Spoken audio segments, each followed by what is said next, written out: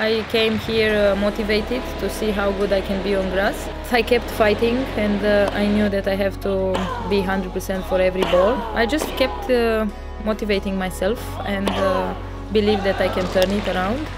I have a lot of experience now. I'm more confident. I love grass. It's first time when I say that. I uh, started to feel uh, more comfortable on the court. I didn't slide at all this uh, tournament. Hope uh, I will be the same in the next match. I started to feel it, to have it in my hands, to have it in my uh, legs, and also in my mind, which is very important. So I tried just to adjust myself, my body to this uh, this court, and um, I'm relaxed, I'm happy, and I'm motivated to win.